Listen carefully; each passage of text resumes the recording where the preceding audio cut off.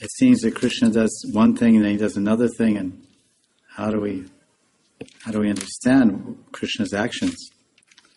So there's a, in the Paramatma Sandarbha by Jiva Goswami, there's a very nice verse that kind of summarizes the whole independence of Bhagavan. In Sanskrit, they say that Krishna is Swarat. Swarat, Swarat and Abhigya.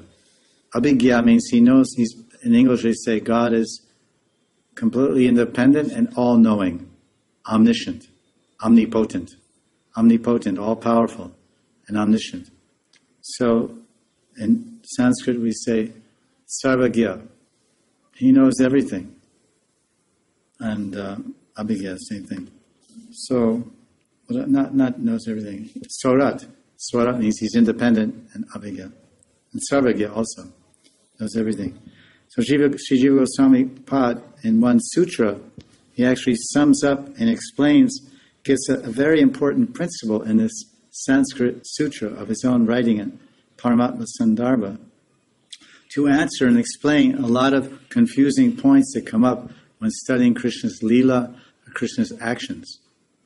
Because one time he's Maryada Purushottam in the form of Ramchandra, another time as Krishna, he's, he's breaking all the rules and laws of Dharma and, and stealing and lying and so many things going on there.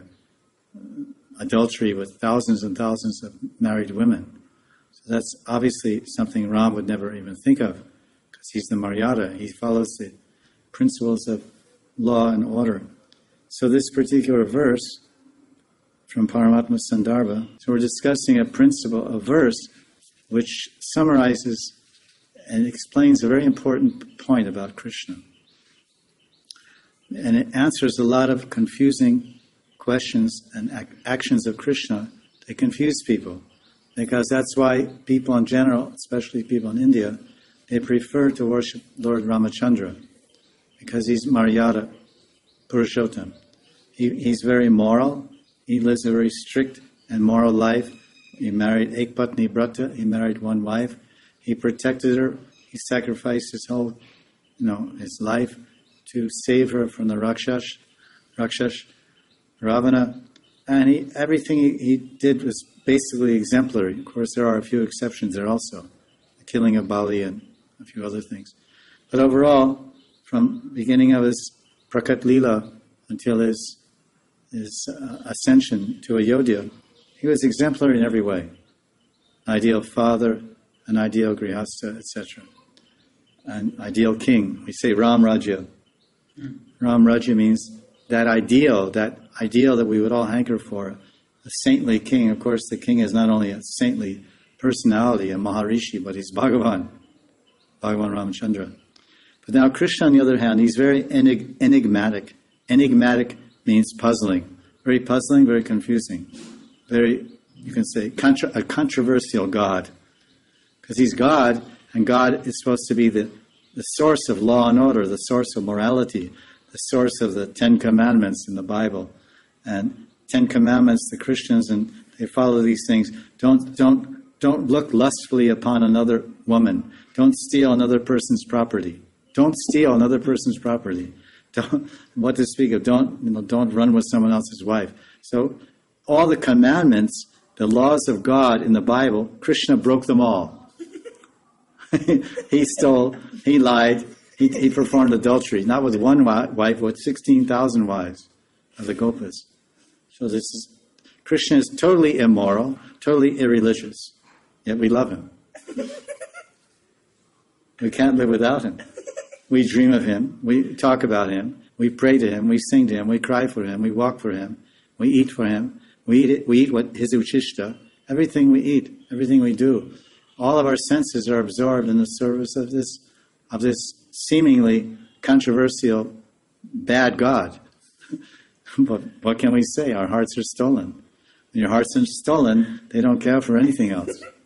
So Krishna is mano, man, man, Manohar. He's Makhan Chor and Manohar.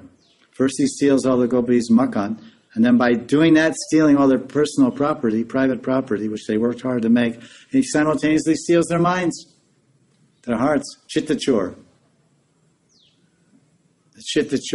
the Sri uh, Vallabhacharya, he wrote one astakam called Charanga, Charanga Ashtakam. Char- Charanga in Sanskrit means thief. Eight prayers to the thief. Charanga Ashtakam. it's very beautiful Sanskrit because the Vallabhacharya, Sri Vallabha, the Mahaprabhu, Mahaprabhu of the Vallabha Sampradaya, of course he wrote the famous Madhura, Madhurastakam. Lila Madhura, Venu Madhura, Yamuna Madhura. Like this. Hasitam Madhuram, Galitam Madhuram. This is Bhagavan. Madhuradhipater Akilam Madhuram, Akila Madhuram. Akila Madhuram. Everything is sweet. Akila. Akila, like we say Akila, Akila, I'm alone, Akila. Akila, Akila means the whole universe, everything. His stealing is sweet. Choram Madhuram.